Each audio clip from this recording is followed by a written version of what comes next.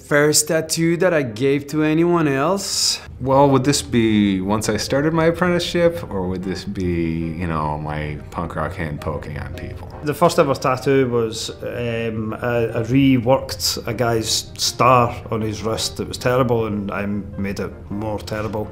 The first tattoo I did was my own toes, and um, it just says Sara Fabel on it because if I ever die, I'll have a toe tag. It was on myself. And it was, I still have it, although I went over it with a machine later. It's a little Motorhead Ace of Spades on my middle finger. The first one, first one I did was on my friend Kike. Mm, the star? The star on his chest. Ah, I remember that. And I remember that I got my whole kit, a big box with everything, you know? And I called him, I was like, dude, I just got my my equipment. He's like, okay, I'm on my way. And he got tattooed that day. That's it. That's it. I tattooed a cat when I was about 12 years old. My little cousin did a big ass Tupac cross on him. We were kids just fucking around with a homemade machine though. My first one I did on my ex, and it was two little bats on his wrist. And it literally took like forever, and he still has them, and it's been like a decade since we broke up. Um, there's no really fun story behind it. It was just like it took forever, and I was super nervous, and we like did it in a kitchen, and it was dumb. Well, I had a friend who made a, uh, a hand, like a prison style little electric machine. We, we got that, and then we had a friend who was um, was wanted me to tattoo "fuck you" across his knees, and it, it took me forever, and it wasn't like the smartest or most hygienic thing to do, but uh, you know we were young dumb kids, and that's what we did. And I imagine they healed absolutely terrible. First tattoo was a star on the ankle of one of my best friend. Mine's on an ankle too, but it's on my ankle. Oh. It's a little anarchy symbol. Because I was a, I was a real rebel back rebel. then. First tattoo I ever did was a shitty pot leaf that I did on myself, right on my thigh actually. And I did it upside down, as most tattooers do the first time, because I can see it. And then, kind of like the day after, I think, I did a shitty skull underneath the shitty pot leaf, and now it just looks like some sort of like stupid pineapple or something. I don't know. The first tattoo I ever did was my graffiti cruise letters on the back of my homeboy's knee. For, Ouch. For uh, yeah, and the whole time I did it, he was. I was like, "Is this okay?" He's like, "Oh, I'm dying, but you you need to learn." My first tattoo was like, I remember I was in art class and the kid was across from me and I was like, uh, hey man, I'm, I'm doing an apprenticeship at uh, a shop. Um, would you want to be my first tattoo? And he's like, fuck yeah, I want to be your first tattoo, which is the wrong answer. Like nobody ever says that. But Yeah. Did the tattoo, I was just freaking out the whole time. It was a tribal. Dude, I did a tribal. It was a tribal fish. Yeah, dude, this Same guy, got a tribal fucking fish on his chest. Yeah, was it this It- like fishing company or something? No, no, it, like it looked like a fish. Like I don't know how it designed. It looked fish-esque. as far as I understand, look, the dude hit me up. Oh fuck, maybe two years ago, and he's like, I want to get a white buffalo on my ass, and I I never heard from him since. So So the first tattoo I ever did was about three inches on the back of a calf. And it was a little motorcycle silhouette because my mentor would only let me do a silhouette. Um, and it was on one of my best friends. And I remember doing the outline and I was so nervous and I was freaking out that I was gonna mess up these circles and I hadn't gotten the stretching down that you have to do with stretching the skin during a tattoo. So my mentor had to come over and physically hold the calf apart for me to tattoo it, but it came out really well and he still has it. He doesn't want me to cover it and he hasn't gotten laser, so I think I did pretty well. Okay, first tattoo I did was on uh, on a friend. I did a name.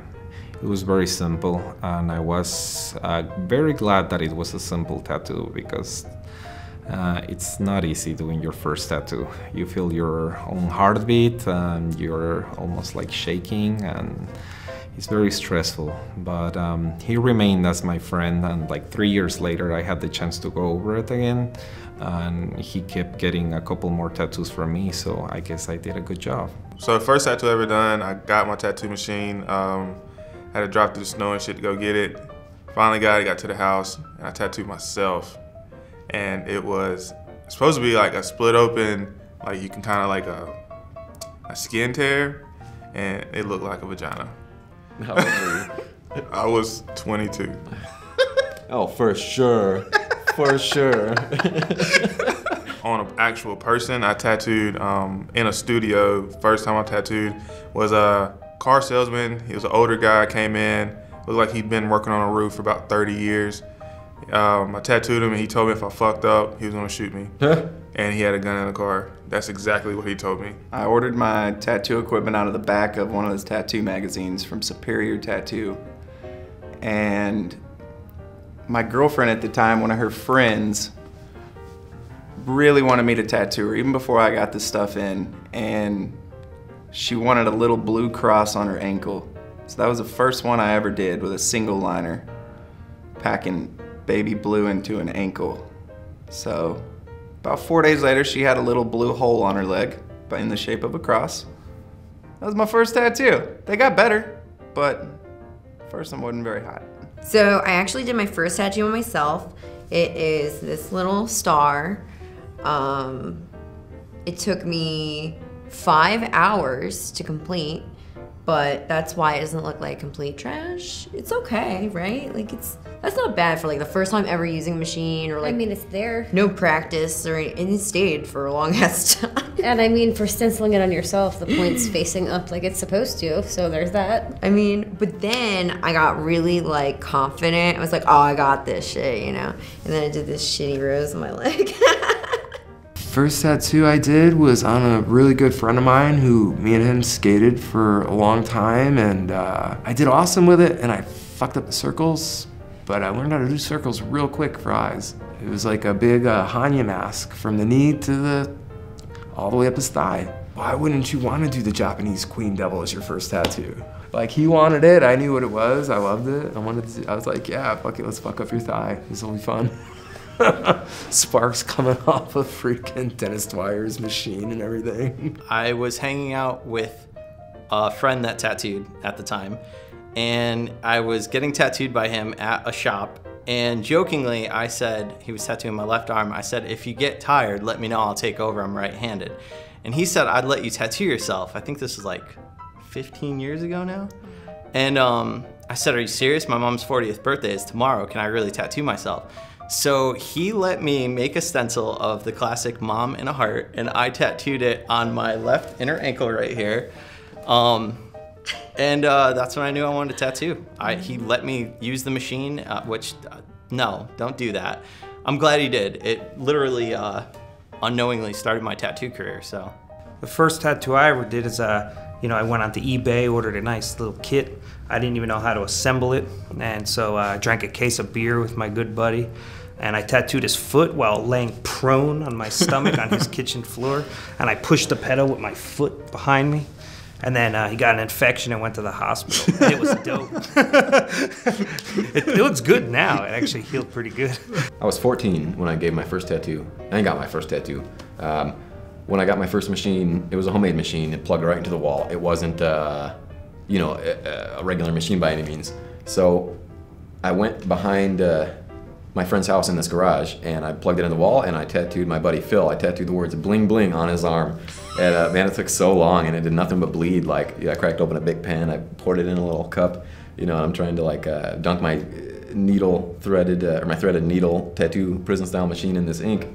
And uh, so I'm just scratching this dude up. He's bleeding so bad, you know. I'd love to see it today. I'm sure it's like nice and textured, and I'm sure it's beautiful. First tattoo I ever did was on myself. My mentor didn't let me tattoo anything until I knew exactly what it's like to tattoo on skin.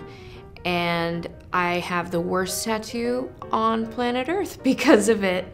It's a little cherry blossom and it's just blown out to shit, and I'll never cover it up because I can always know that, hey, look, you can be really shitty some and be something better someday. I sat right here and just shook and struggled and panicked and sweat everywhere and I was like, oh, that's permanent. All right. So it's funny actually, the first tattoo I did, it was on myself. Um, I actually had a group of friends that were artists and at this time I had never thought about tattooing too much or I never even like I just never had one. My friends didn't get them, nothing like that. But my artist friends were super excited to get this eBay kit. Um, we're all juiced about it. It finally comes in the mail. It takes us like four hours to set up the needle. We end up setting up a single needle because we have no idea what the other ones do. So I'm trying to figure out what to tattoo on myself that's not gonna fuck me up or I'm not gonna do it on my arm or something like that. I'm left-handed, so I was like, oh, I'm gonna fuck up my right arm. Um, so I ended up looking around and I'm like, fuck it, I'm gonna tattoo my foot. Mind you, I didn't really have too much artistic skill at this time, so I ended up picking a stick figure. And yes, I still have the tattoo. This stick figure, let me tell you, it took me almost two hours to do a fucking stick figure with a single needle. Right now it looks all blown out and crazy and stuff, but I'm gonna be honest, it's probably one of my favorite tattoos. Probably add a little family down there or something one day, you know what I'm saying? More stick figures. It's literally, he's like this. And it's like the most shittiest drawn one because I didn't even use a stencil. I literally just like, how do I do this? I don't know. Mm. Stuck it in, ran a line down hella quick, and I wiped it, and I was wondering why the line wasn't there, so I went deeper. And then I went deeper, and then I was just like, man, this is a lot harder than it looks. It's definitely not like using a Sharpie. You know what? It's so blurry, that memory, that I, I'm not even sure who I did the first tattoo on, besides myself. But I'm gonna go with my girlfriend at that time. I was 16 years old, and I did a little rose here. Stick and poke with um, the ink from a ball pen and I was so nervous. I could draw a rose, but I was so nervous about it that I actually drew it on paper and with little scissors went and cut and kind of did some type of stencil and put it on her and then with the pen I just went and drew it and then I went and the crazy thing is that this thing took is like this big. It took forever and we were 16. You know, yes, as you can imagine, her parents were pretty excited of me banging their chick and fucking poking her with needles, all the poking. And then uh, I remember it took forever, and we did like two or three touch-ups, and it was just a sewing needle with like thread. And I remember doing one of those touch-ups, like break the pen in middle of, of class. I was in like in ninth grade, and my chemistry teacher or physics teacher, he was like a cool guy, and I remember he just looked at us and rolled his eyes and kept giving class. And you know what? I feel like I'm a tattoo artist, I'm around tattooed people, and if I would have seen that, I would have slapped the shit out of those kids and be like, yo, don't do that.